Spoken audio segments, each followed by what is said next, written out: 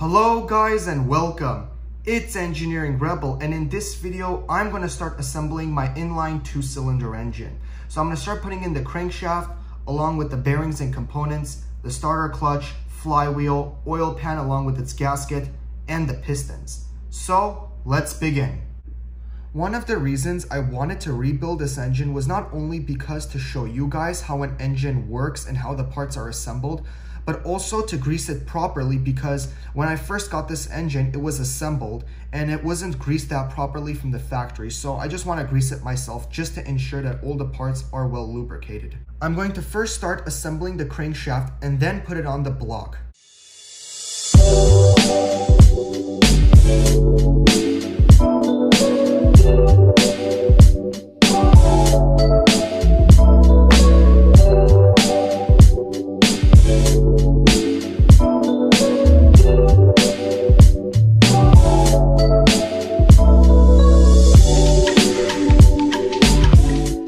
So the crankshaft is in along with its components. You could see that the bearings, the seals, and the starter clutch is in place. And when I go ahead to turn it, it turns freely. Now I'm gonna start to put in the pistons. So what I have to do is to flip the engine over and to put the pistons in along with the connecting rod caps. And I just have to be honest, I am genuinely impressed with this engine. If you can see, there are actually main bearings. My one cylinder engine that I built a couple of months ago didn't have that. So it's actually pretty impressive and a great attention to detail.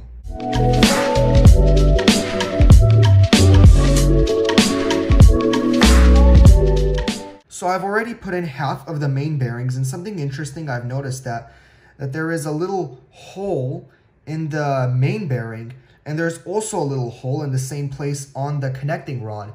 Now what this is, is that this takes the oil that's in the crankcase and that oil goes in through the connecting rod into the main bearing, lubricating the journals on the crankshaft. I think that this is a spectacular attention to detail and it's an awesome feature, especially to keep the journals lubricated. Now comes the fun part. Now I have to put the pistons into the block.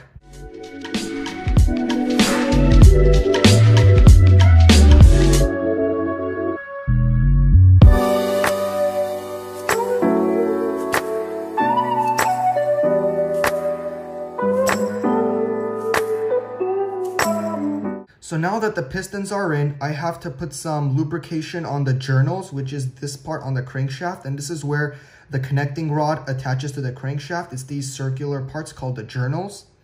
Then I have to put the connecting rod caps along with the main bearings. And then I'm sure I could put on the oil pan gasket and then put the oil pan on and screw it in place.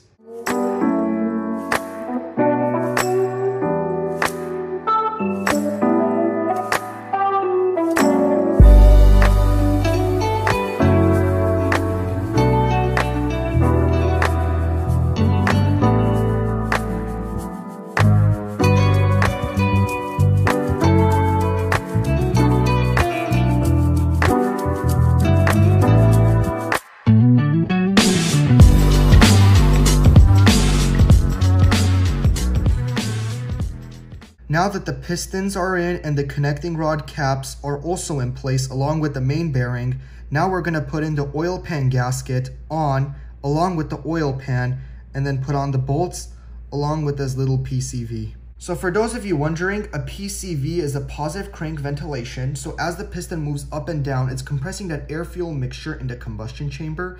But when the piston moves down, it's also causing pressure buildup in the crankcase and in the oil pan. So what the PCV does is that it releases all that pressure so it doesn't cause pressure buildup in the crankcase or in the oil pan causing damage.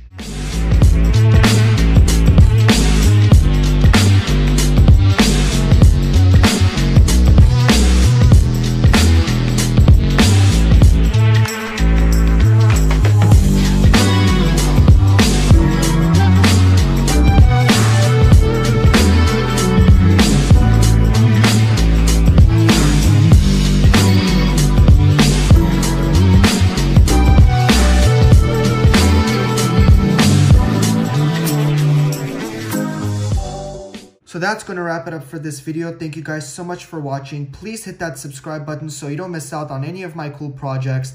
I will see you guys in the next one.